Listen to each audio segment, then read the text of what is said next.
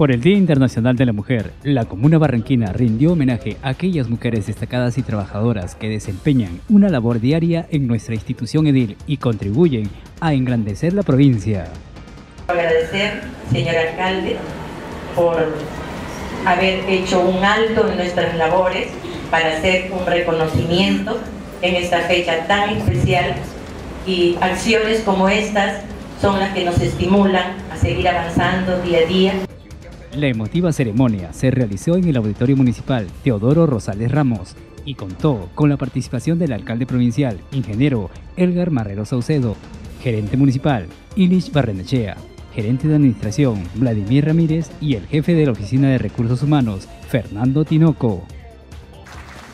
Las trabajadoras ediles se mostraron contentas por este significativo homenaje y se comprometieron a seguir contribuyendo con su granito de arena para fortalecer la institución. Posterior a la ceremonia protocolar, se sortió becas integrales para estudiar en el grupo educativo CECIG y en el Centro de Idiomas Easy English en sus diferentes especialidades. Por último, se brindó un desayuno de confraternidad entre las asistentes.